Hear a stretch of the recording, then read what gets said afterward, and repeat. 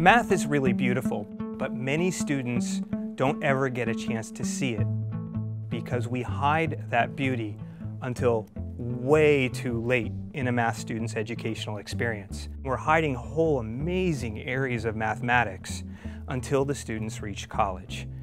But many of the students don't make it that far. They decide before they get there that there's nothing to see here. They say they're not a math person because they're bored with math because they've been taught that math is arithmetic. They haven't been taught that math is discovery. Math is a creative discipline. I know a lot of artistically creative people. The most creative people I know, though, are mathematicians. You know, they have to create new frameworks in which to create new knowledge. They are creating castles in the sky. My name is Richard Rusczyk. I'm the founder of Art of Problem Solving. We develop educational resources and opportunities for students who are really interested in learning. I did not learn very much in the classroom. We didn't have the internet then, so there was no, you know, there was no YouTube to watch videos. But uh, I learned a lot from textbooks and working on problems. I had a stack of formula sheets and I would just memorize them. And I would eventually get to a training program for the students who did well in a series of national competitions. I'm there for five weeks. I see 50 or 60 problems during this time, and uh, I got exactly zero correct. I had to go back to those formulas and ask, why is this true? Why is that true? And realize that I did not know and had to start trying to prove some of these things. I was coming out of a high school that, um, know, Northern Alabama, it was an aggressively average high school. But I go off to Princeton and I'm worried about competing against students that went to the magnet school, private schools. And I found in the first few weeks it was very clear that I had it backwards. I had training they didn't have. And that training was all those years staring at problems I didn't know how to do and having to learn how to fight through them.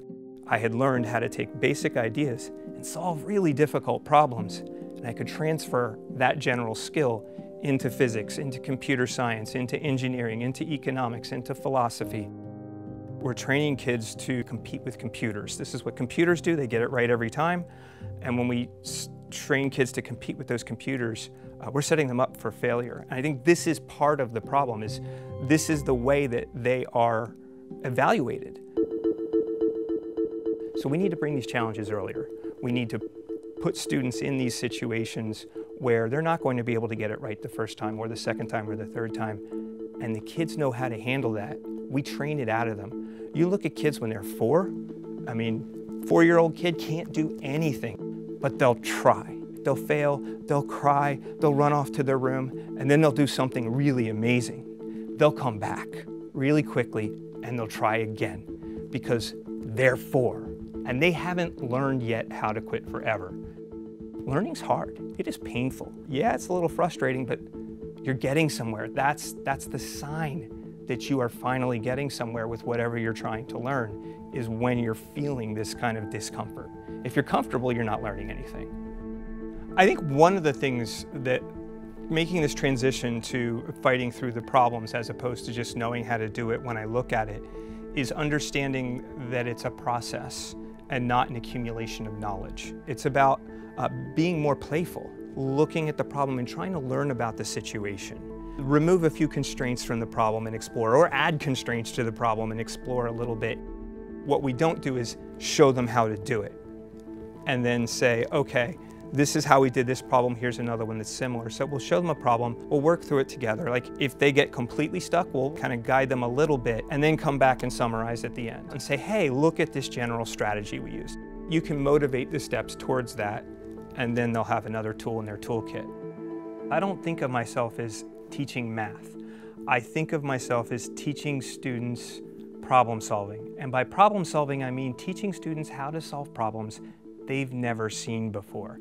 And math is a really powerful way to teach that. I think a lot of it is modeling for the student the questions we eventually want the student to learn to ask themselves. Instead of saying, oh, you just add the seven and three, here's why. What we do is walk them through the questions that one might ask themselves in order to figure out how to do the thing. We found that there were a lot of students out there for whom textbooks were not sufficient. So we started with a community where we could just bring the kids together online and then we started building uh, online learning systems, uh, adaptive learning system where you just give the students problems and lead them into harder and harder material. And I started developing videos to go along with the adaptive learning system. We have two online schools now. We have learning centers. We have an online community that is hundreds of thousands of learners from all over the world. Our textbooks our comic books. A lot of students are visual learners and a lot of mathematical information can, can be conveyed really effectively visually. We use it for pedagogical reasons as well. You can't lecture a third grader, uh, but in a comic book you can simulate conversations. We can model some of the strategies we want them to use. We can model students asking questions. We can model students working through challenges. We can model students being wrong and being okay with that. All of these resources, they're readily accessible to those who have the means to pay for them and those who have parents who know to look for them. Meanwhile, we're removing a lot of these opportunities from schools. The set of students who are getting involved in these programs is getting narrower and narrower. So as a result, our country has a much narrower pool of people who are going into advanced math and science. The next step in our evolution is learning how to work closely with schools, where the delivery mechanism there is the most important person the student is working with in their educational experience uh, during the day, which is their teacher. So there we're trying to learn how, we are going to learn how to work with teachers in the classroom to empower them to give their students the experience we give our students. So we're going to go and find that talent ourselves by going into the schools so that we can reach those students who don't have the means or the knowledge to look for opportunities outside the classroom. We need to be drawing talent from across our entire population.